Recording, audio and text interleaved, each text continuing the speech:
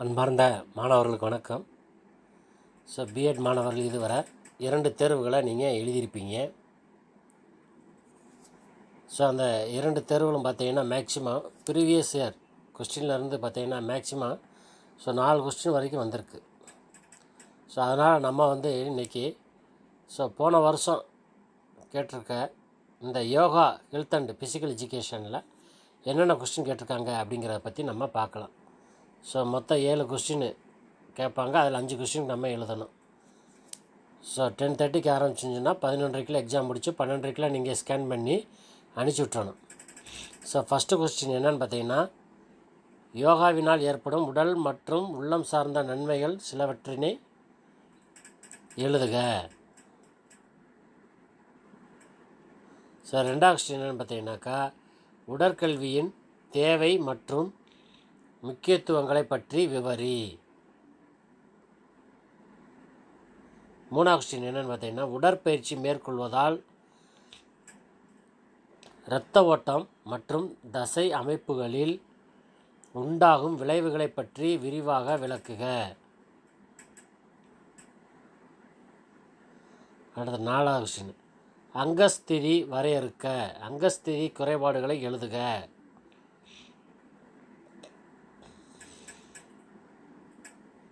அஞ்சாவது கொஸ்டின் என்னன்னு பார்த்தீங்கன்னா உடல்நலக் கல்வி வரையறுக்க. உடல்நலக் கல்வியை பள்ளியில் கற்பித்தலுக்கான வழிமுறைகள் யாவை?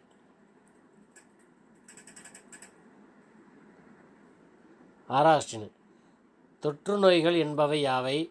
அவைகளில் ஏதேனும் இரண்டினை பற்றி விரிவாக விளக்குக.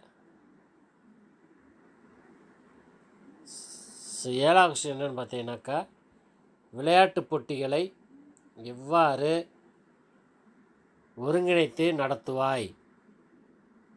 அதன் வகைகளை எழுதுக.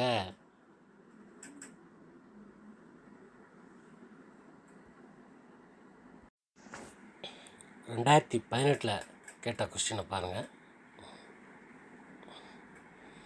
ஸோ ஃபஸ்ட்டு கொஸ்டின் வந்து யோகாசனத்தின் எட்டு கைகளை பற்றி விளக்குக.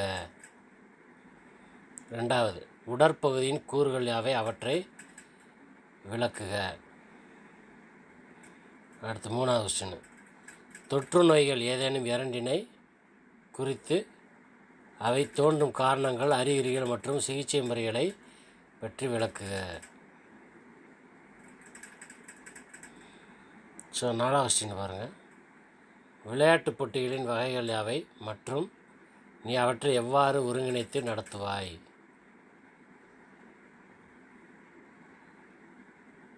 அஞ்சாவது கொஸ்டின் உடல்நலக் கல்வியை பள்ளிகளில் கற்பித்தலுக்கான வழிமுறைகளை விளக்குக.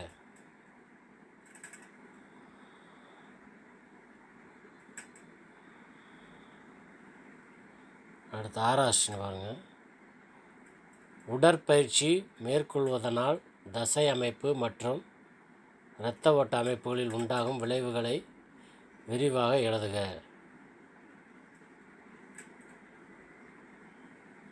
ஏழு. அங்கஸ்திதி வரையறு மற்றும் அங்கஸ்திதி குறைபாடுகளை எழுதுக. ஸோ இப்போ இந்த ரெண்டாயிரத்தி பன்னெண்டு ரெண்டாயிரத்தி பத்தொம்போது. ஸோ இந்த ரெண்டு கொஸ்டினையுமே பாருங்கள் இந்த ரெண்டுலேயுமே எத்தனை கொஸ்டின் ரிப்பீட்டடாக வந்திருக்குன்னு பாருங்கள்